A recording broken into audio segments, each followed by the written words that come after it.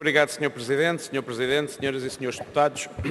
A grande fome ucraniana, conhecida como Holodomor, foi um dos atos mais nefastos já vistos na história da humanidade, provocados pelo ódio de um regime totalitário, planeado com um cinismo e uma crueldade que envergonha todo e qualquer povo que se funda nos princípios humanistas e de respeito pelos mais básicos direitos que assistem a todos os cidadãos.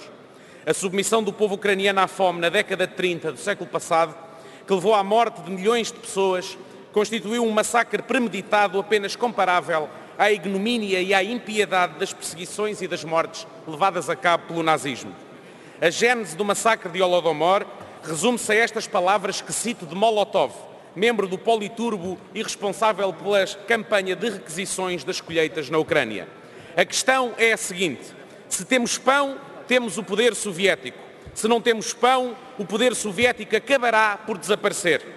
Atualmente, quem tem pão são os camponeses ucranianos reacionários e os cossacos reacionários do Cuban. Não nos irão dar o pão de livre vontade, terá de lhes ser retirado.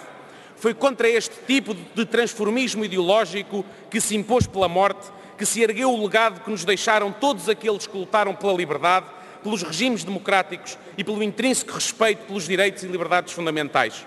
O Parlamento Europeu já consagrou o Dia Europeu em memória das vítimas do stalinismo e do nazismo. A Assembleia Parlamentar do Conselho da Europa já qualificou isto como um crime contra a humanidade, a fome provocada pelo regime de Stalin aos povos da Ucrânia, mas também da Moldávia, do Cazaquistão, da Bielorrússia e da própria Rússia. Foram vários os parlamentos democráticos respeitadores da pluralidade política e protetores das liberdades fundamentais que já reconheceram o Holodomor como um dos atos mais bárbaros da história da humanidade. É tempo de nos associarmos a este reconhecimento, para que não haja futuro sem memória, para que a lanterna dos direitos humanos, das liberdades fundamentais e dos princípios que preenchem a dignidade humana nos guie sempre contra a tirania, contra a morte pela morte e contra a humilhação dos povos e a indignidade perpetrada contra homens, mulheres e crianças.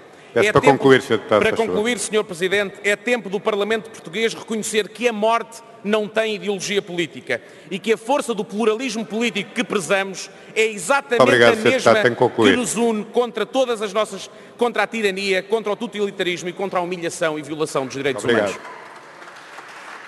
Tem a palavra